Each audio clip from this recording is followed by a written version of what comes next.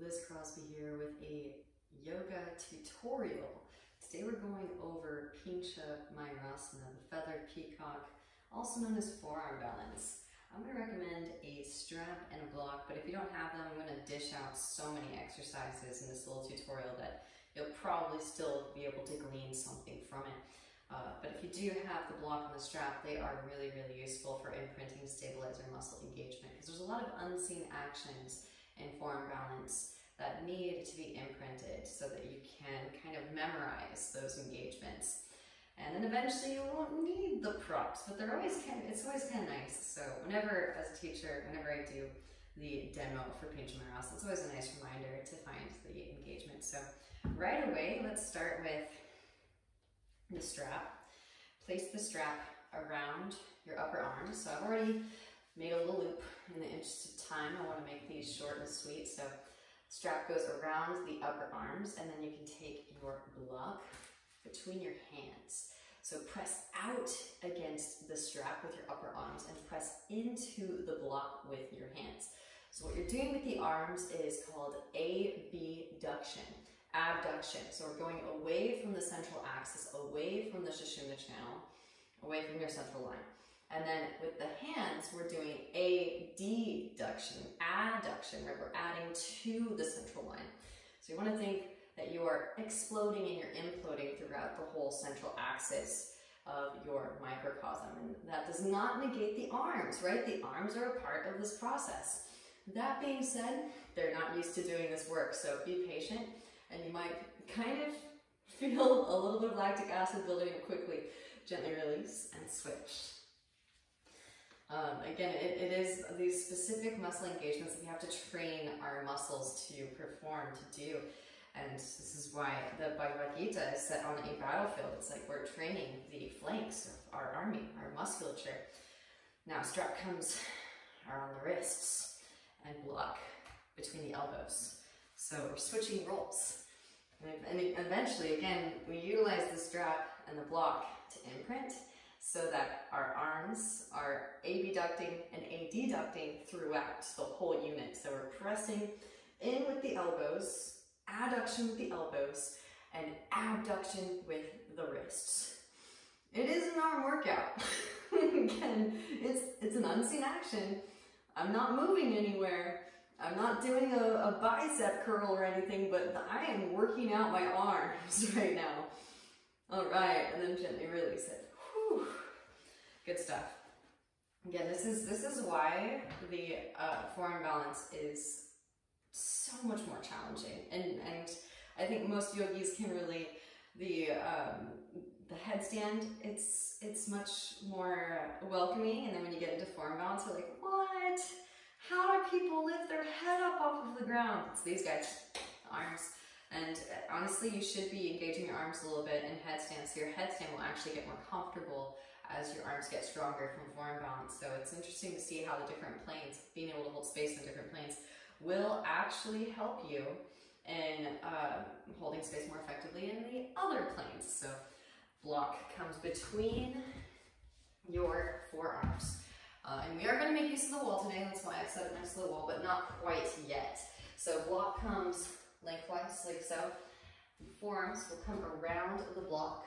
Now squeeze the block with your forearms. Tuck your toes, hips rise up and back for your dolphin pose. Melt the heart towards the thighs, re-extend the bones. Now from here, squeezing the block, lift the block up and lower. Lift and lower. So again, you can do this without the props. Very useful with the props, of course.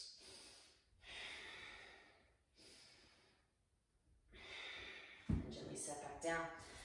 And I don't have a second block with me right now, but if you have a wider set shoulder girdle, then you can actually set two blocks next to each other, one lengthwise and one widthwise. So uh, for you dudes out there with super broad shoulders, or ladies, you know, sometimes you just got a wide set of shoulders.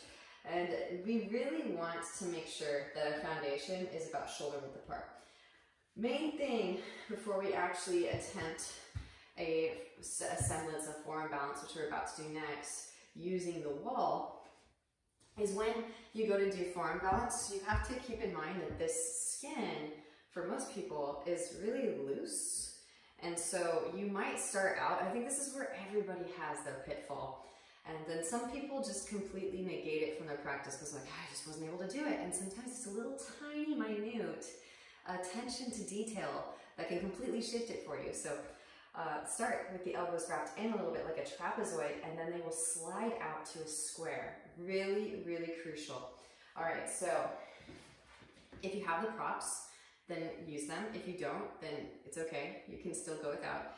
Um, but keep in mind, since we just did the uh, arm and now the actual posture is about to be attempted, that you want to adduct and abduct with your arms. So even kind of just setting that intention, even though you don't have the props, to really, really imprint as, as much. It's okay. You can get away with not using the props today.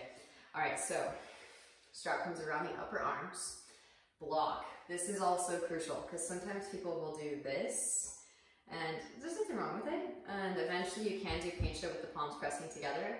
But then sometimes people get uh, almost like dependent upon this one variation. So try with the hand slap. This is another thing too. If your wrists start to cut out from doing handstands, or even down dog, because down dog is handstand another orientation, you can lower it down onto the forearms, and then again, you'll consciously send energy through the wrist, and it will build muscle strength around the wrist to protect the wrist. Really good idea. Don't let the wrists uh, agitating you take you out, because you can uh, modify. All right, so you'll measure it out. Legs distance away from the wall. All right, and you can even have a little marker. That's where your elbows go, right? Because when I go to straight through the legs, I want my hips directly over the shoulders. So here. Now, take the block, place it in between the hands. Again, the uh, index finger and the thumb are wrapping around the corner of the block. So it's more of a, a space holder. What ends up happening with pincha is the elbows will start to slide out and then the integrity of your structure becomes weakened and you, you end up coming back down to the ground and not stabilizing. So this imprints the proper engagement. We're training those muscles to do their job. So from here, dolphin, and then walk the feet up the wall, coming into your L shape. A Couple more deep breaths here. Maybe extend a leg. Really work on trying to find a straight line between the humerus bone and the rest of the spine. And then switch. You are actually pushing the floor away to send a pulse of energy down and then riding that pulse back up again. Slowly lower. And gently release. Whew. It's a nice reminder with the strap and the block not entirely necessary. Some people find it's a little bit claustrophobic or the strap gets in the way, especially when you're starting to work uh, hollow back and scorpion, the strap will definitely get in the way at that point. So you do eventually want to graduate away from using the props. Okay, so really work with that. Work with that until you feel comfortable. And we're going to attempt kicking up to the wall. So now turning to face the wall. This stuff is so crucial. I think a lot of times people learn Pincha Mayurasana in the middle of the room because of really overpopulated classes, which I understand studios need to make money, but it is actually to the yogi's detriment because if you are learning this posture in the middle of the room and you don't know how to safely exit the posture, when you, your mind hits the freak out mode, then it can be a, a kind of a tricky situation um, because it isn't like handstand where you can just cartwheel out. Your arms are in a weird predicament, right? They're bent, they're not straight. So I highly recommend before you start working this in the middle of the room, utilize the wall and start to work your hollow back against the wall so that you know that you can safely flip over into a back bend. I know that there's some yoga instructors gonna be like, oh, no, you didn't. You said that, that's okay. Like, yes, I think it's better than flipping out to the side in a forearm balance because that could cause some major issues with your shoulder cuff over time or really right in the moment, right? So uh, really crucial. I'm to show you how to work into your back bend in Pincha Mayurasana so that you can start to kind of, and it's a process. So take your time, you're going to chisel open the space and then when you know that you can comfortably go into your bridge, into your what's called Dwi Pada Viparita Dandasana, then you know you can do it safely in the middle of the room. And in the event that you flip over, you know it's not going to cause any impingement in your lower spine. Because that's really what you're safeguarding is the lower spine. And then when people are up there and they're not thinking, then they accidentally go off to the side. And that's when issues can happen in the shoulder joint. And you really want to be careful, right? We, we, we are learning how to hold space again and the upper half is really not used to holding space unless you were a gymnast or an acrobat. Um, but if you want to be able to activate the uppermost chakras, you're not born with psychic abilities, then um, we've got to kind of figure out how to how to navigate. And um, even people born with psychic abilities, I still think it's very useful to be able to do this stuff because you want the crown chakra connection so you can just shoot your uh, karma load out through crown chakra. So um, again, if you want to, you can use the props. I'm not going to use them for this next part, so I'm going to set them off to the side. I like to go about a shin's distance away from the wall, so we can show you really quickly. Alignment is the key to divinity, so about shin's distance away. And then that way you know that the wall is there. There's no fear of flipping over into a back bend. Um, and yeah, you're, you're not even gonna think about going off to the side. So I wanted to really make that clear because I've heard of a lot of unnecessary issues that have surmounted because of that. So again, wrap the elbows in and you can kind of do a little quick check with the loose skin on your forearms. Make sure that you're in a square, press down to the outer elbow. Gaze between the thumbs, spread the fingers wide. Tuck the toes, lift the hips up. And again, if you make your way up and you feel the elbows sliding out, you can bring that strap back in. You see, and, another uh, byproduct is the hands will slide towards each other. So it's another reason why we use the block. So feel free to reintroduce the props if you need them. One leg extends up, little tiny hop takes you up. Find the wall about a shin's distance away. Again, you're pushing the floor away. This is what our arms are not used to doing. You're pushing the floor away but also plugging in at the same time. Maybe flip that other foot up. Connect the legs together at the top. Concentrate on drawing the floating ribs together and in. Magnetize the sternum and the pubic bone towards one another. Deep Ujjayi breaths. And then slowly lower. Gently release. All right, so there's your straight up and down pincha. And it's really important to have a straight up and down pincha. But so often some people will just focus on the very phallic straight up and down and they won't ever introduce the bend. And I understand we do live in a patriarchal society, but we want to get it up past heart chakra. So uh, the feminine aspect is really crucial. Main thing is uh, on the flip side, some people will just go do the straight up and down and not do the big back bend. And then some people just do the back bend. So don't, don't be either camp. you want to be both at the same time. Um, so, and it is actually, you'll find it is actually easier to balance once you have it, once you've figured it out. The hollow back and the scorpion are both easier, I think, to balance than the straight up and down, but do it anyways. And so don't fall into that other camp where you just do the feminine aspect, not the masculine aspect. Straight up and down will endow you with the masculine aspect, which is fortification, which is stability, which is infrastructure, which will protect your feminine aspect, right? Um, so holding space for ourselves, right? Essentially.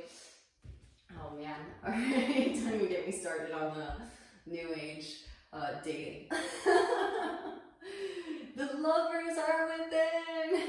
So this is some of my favorite stuff. And actually before we begin, before we start to work into the feminine, if you do have the block, take the block lengthwise. I feel like such a block salesman every time I teach this because everybody wants to go and buy a block after I demo. Block comes in between your scapula, your shoulder blades. Hands are on either sides of the lengthy part of the block. And then place the boniest process right up onto the, the uh, edge of the block. Now, tuck your toes and walk your feet in. So this is kind of the sensation that you want to get from your hollow back. This kind of, literally, it's, it's a force. It's an energetic force that you're sending directly into the stickiest part of your thoracic spine so that you can propagate and expand the heart space. That is so delicious. So that is the sensation that we're looking for. And then gently release it. Set it down. Release the block. So again, this stuff is pretty advanced. If you want to just work on your straight up and down for now, make sure that you have the masculine aspect supporting before you start to move and navigate into the feminine aspect. No worries. And of course, you can always heat things up with your inversion practice and then work your back bends in a more comfortable orientation until you feel ready and confident to move into this space. But it, these are some of my favorite shapes to throw in space. They feel so exquisite. Again, you're pulling the energy up and it's heating up the upper half. As you're tempering the upper half of the body, then you're gently expanding and opening up into new space. Receive those invitations as they're given. All right, so here we go. Here's the initial phase for your hollow back pincha. You can interlace your fingers, bring the knuckles right up against the floorboard. You won't need nearly as much of a hop here. Tuck your toes, walk the feet in. One leg can extend up, hop it up. Find the wall. And again, let the hips come directly to the wall as you puff the chest, just like we did with the block. So glorious. This is one of my favorite ways to gently open up the heart space. Again, your arms are doing work, so you're building the infrastructure as you're opening. And then gently release it back down. Okay, so that's the beginning. And if you're doing that, great. But I would still not flip over into a back bend just yet in the middle of the room when you can do this next exercise safely against the wall. And sometimes I'll still do it against the wall first before I even attempt a forearm balance in my practice in the middle of the room. Just, it's just kind of nice to ensure that you have that space open and in the event that you flip over into a back bend, you know that you have the space open and there's not going to be any issues at all. Um, and again, eventually over time, you can work slowly lowering down into the back bend. And so it's not a uh, unintentional flip, it's a nice slow gradual descent. And then you can actually also ascend and pull the feet back up into the inverted back bend. So it's it's really, really fun to play with these, these uh, angles and these transitions. So hopefully it brings you as much, uh, as much joy as it brings me. I know I totally geek out on this stuff because it's like, metaphysics. so you'll give yourself enough space to maybe drop one foot down and one foot can stay on the wall as the detective. All right, so here we go. Give yourself a little bit of space here. Again, take up. Maybe kick with the other foot if you've been kicking with one foot all along. Finding that balance in all of the ways. And again, find the wall. You can do a little bit of a chair pose. Right, so squeeze the ankles and the knees together, bending deeply into the knees, let your butt ride towards the wall, and then pull the chest through. It's like a lightning bolt of energy straight into the thoracic spine. Hopefully you see that, the classic Gerry Lopez lightning bolt right there. And then one foot can drop down, drop it like it's hot. And touch. And then switch.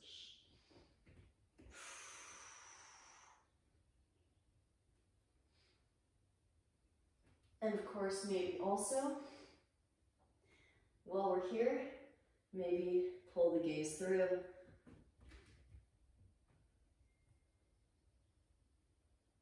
One foot can play detective as one foot plays scorpion. Gently release and set it back down.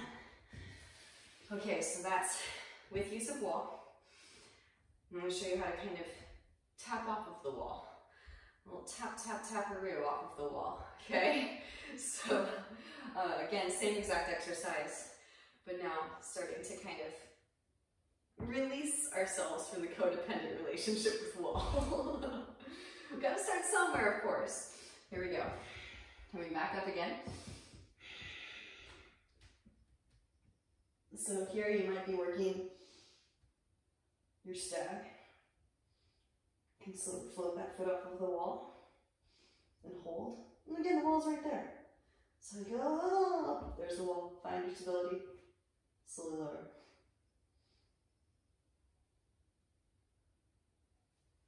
And again, try the other foot. Have the wall right there. Slide the foot down.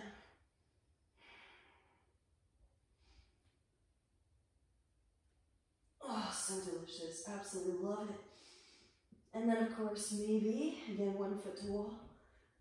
Or belly the foot down. And slowly slide another foot off of the wall. All right. Gently release.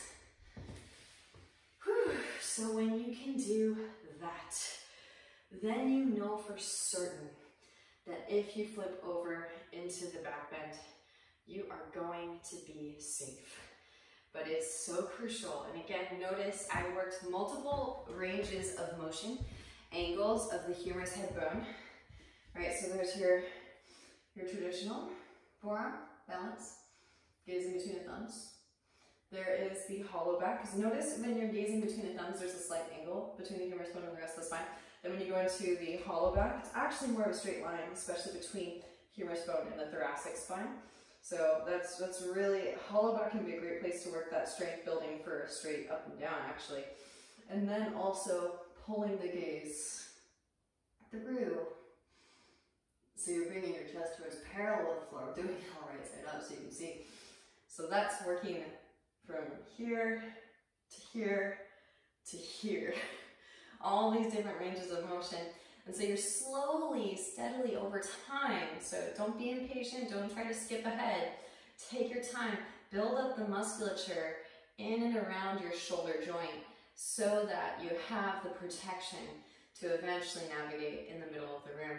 Just to show you guys uh, really quick at the end of the tutorial, it's probably going to be a little bit of a longer one and that's okay. I really wanted to get into all of the different specifics um, of, of the Pincha Mayurasana forearm balance. So here is the middle of the room, and if you'd like to, you can just watch. Feel free to skip it. Please do until you feel confident working against the wall. Again, you don't want to you don't want to um, fall over into a back bend if you don't have the uh, upper spine mobility. Because if you flip over into a back bend, it's going to be a higher impact. When you create the upper spine mobility, then I'm, I'm sure, as I'm sure you can see, you can slowly lower. And again, hopefully as you're creating the upper spine mobility, you're also creating the strength aspect to insulate that flexibility. All right, so here is the middle of the room, something to work towards. It's okay if you don't attempt it today. Middle of the room forearm balance. All right, here we go. So again, hands can press down. Wrap those elbows in a little bit tighter so that, again, the skin can uh, slide out into a square. Tuck the toes, hips rise up. Dolphin pose. Melt heart towards thighs. Adduct, abduct already. Push the floor away, plug the humerus head bones into the shoulder sockets. One leg extends up, then little tiny pop takes up, or maybe you just press it up. Connect the legs together at the top, reach out to the balls of the feet. You can flex, you can point, you can flank. Maybe a little bit of a chin lock.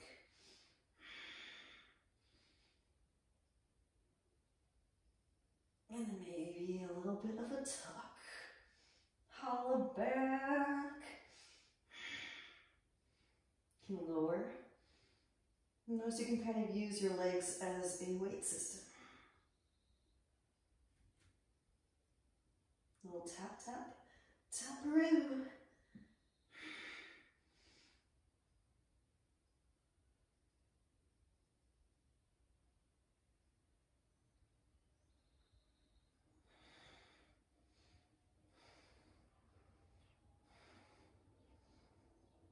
Course, I always like to do a hollow back first so that I know the muscles in and around my lumbar are very much activated.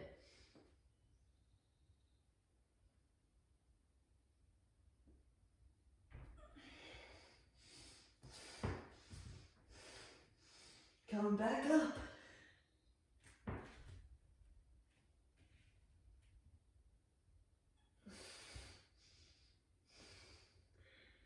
Delicious. Whew. This is some of my favorite stuff. These are a few of my favorite things. So please use the props and please use the wall until you know that you no longer need them anymore. And definitely don't cartwheel out to the side, just don't do it find the back bend. And there's so much back bending potential here, but also potential to strengthen your back bends so that you're like elastic steel. All right, so hopefully this tutorial is well received. I hope to see you all doing forearm balance, potentially busting some, some hollow backs and some scorpions, of course. But again, do the hollow back first before you navigate into the scorpion so as to protect your lower spine. So, so crucial. And find that balance between the masculine and the feminine energy channels, polarities in your heart space uh, so that you don't unnecessarily seep out energy with too much feminine energy or so that you're not blocking yourself off with too much masculine energy. This is where the Merkaba is, which is why the yantra for heart chakra has two juxtaposed triangles like the Star of David, right? When they start to spin, it's kind of like, all right, your Merkaba, your light body vehicle is activated and you're able to access the sattvic throat chakra, brow chakra, astral project, and really you're, you're just able to see with fine-tuned analysis how the inner space cosmos is interacting with new space as you expand consciousness in your field. So this is a quintessential tool for the alchemist, for the metaphysicist, seeking to raise their own vibrational frequency and the vibrational frequency of our collective consciousness. So thank you for participating and expanding in your own field, your own microcosm. It truly does benefit all beings. And enjoy your, your practice. Namaste.